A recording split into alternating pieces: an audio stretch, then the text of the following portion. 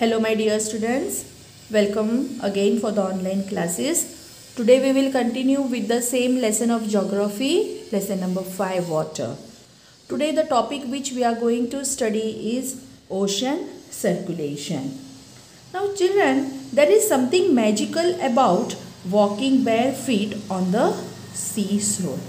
The wet sand on the beach, the cool breeze, the sea birds, the smell of the salt in the air and the music of waves. Everything is so fascinating. Unlike the calm waters of ponds and lakes, ocean waters keep moving continuously. It is never still. And these movements that occur in the ocean is divided, is broadly categorized as waves, tides and currents. The three movements are due to the following reasons. The first one is difference in the temperature of ocean water, difference in the salinity of sea water, third one prevailing winds, fourth one gravitational effect of moon, Fifth one, shape of continents affecting the direction of current. And the last one is the rotation of earth. Children, because of these reason, we see the different movements of ocean water. Let us see the first one that is the sea waves. Now children, when we talk about the waves, when you are playing throw ball on the beach and the ball falls into the water what happens it is fun to watch how the ball gets washed back to the shore by the waves the rise and the fall of water surface due to the force of wind is called sea waves so what are sea waves? The rise and the fall of water surface due to the force of wind.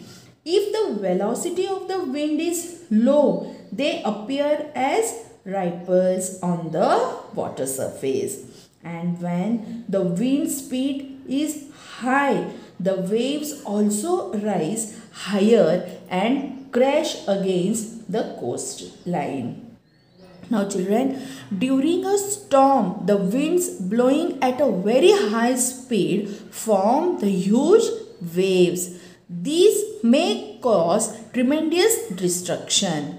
An earthquake, a volcanic eruption or underground underwater landslides can shift large amount of ocean water.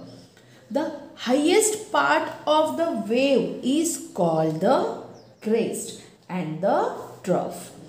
The distance from the crest to the trough or the distance from the trough to trough is called the length of the wave or the wavelength.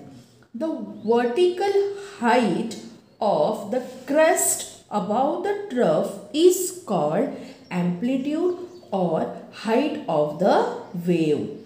Now children you know waves are caused by wind. The high velocity wind give rise to high waves which are dangerous particularly for the ships. Such waves and cyclones cause huge destruction of life and property on the eastern coast of India. As a result, a huge tidal wave called tsunami that may be as high as 15 meter is formed. The largest tsunami speed of more than 700 kilometer.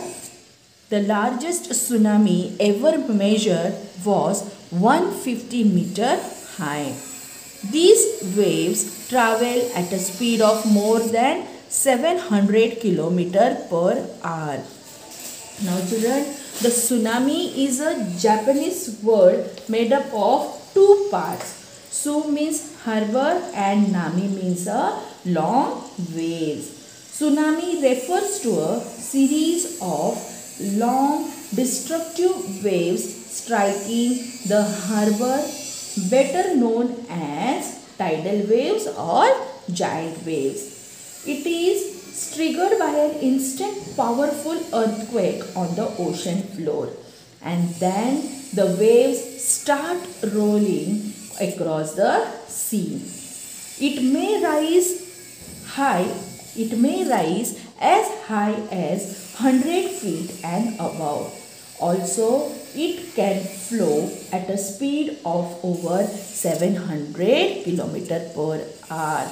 The tsunami of 2004 caused widespread damage in the coastal areas of India and the Indira Point in the Andaman and Nicobar Island gets got submerged after the tsunami. Children, nobody can ever forget the 26th December 2004 when the tsunami hit the Indian Ocean and caused the massive destruction to life and property. More than 5000 persons killed became victim of the tidal wave. Children, in your textbook on page number 34 and 35, a description about the tsunami of 26th December 2000 is given.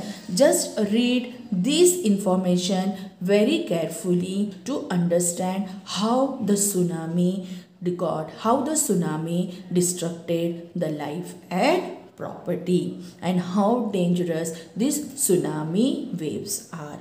Now this is about the waves now children, let us move towards the another movement that is tides. Rhythmic rise and fall of ocean water twice in a day is called a tide. It is high tide when water covers much of the shore by rising to its highest level and it is low tide when water falls to its lowest level and recedes from the shore. Children, it is rise and fall in the level of the sea water twice daily due to the gravitational pull of moon and partially of the earth. Now, why do we see the to uh, why why do we see the rise and fall in the level of the sea due to the gravitational pull of moon and partially of the earth? Tide can be observed in the coastal area where the level of the sea water rises and fall. Rise in sea level is high tide and its falling back is low tide now children, you know during full moon and new moon, the level of the sea water rises to its maximum which is called the spring tide. And on half moon night, the sea water level lowers which is known as neap tides. Tides are useful to us as they help in the navigation and fishing. At high tide, the depth of the seas, particularly the gulfs and the bays, increases. This enable the weak ships to enter or leave the harbors easily. Now due to the high tide in the Hooghly river, the depth of the water increases and as a result the big ships enter and leave Kolkata port which is situated on the bank of this river. Now some ports such as Kandla in Gujarat and Diamond Harbour in West Bengal depend on tides.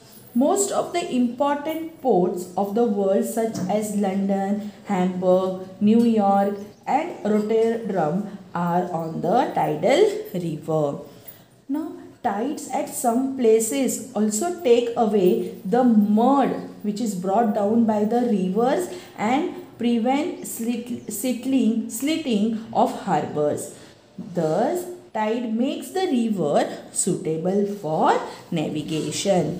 Now children also it is given that these tides high tides help in navigation.